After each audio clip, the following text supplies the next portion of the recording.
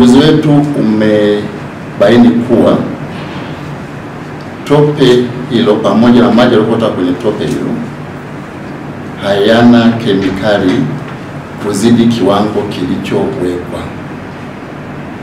Nirudie tena, e, uchunguzi wetu kikemia kwenye tope na maji yaliyokuwa kwenye tope hilo umebaini kuwa hakuna kemikali zilizokuwa zimezidi kiwango kilichokubaliwa kulingana na shirika letu la kulingana na ubora wa uliowekwa kwenye maji, yani water quality standard.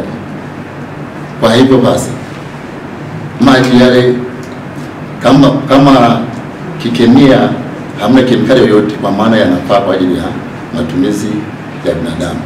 Tulichogundua ambacho kilikuwa kinazidi ni kwamba ni tope kwenye maji.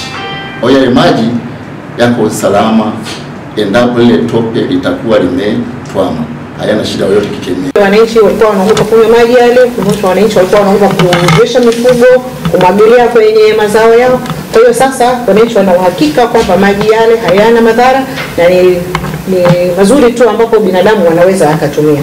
Sisi kama mkoa na upande wa wilaya ni kuendelea kuwashauri wananchi sasa wanaweza wakaendelea na maisha yao kama kawaida, wakati taratibu hizi zingine za kamati zinaendelea kukusanya taarifa hizo na mwisho ili tuweze kuzitoa hapo tarehe ishirini.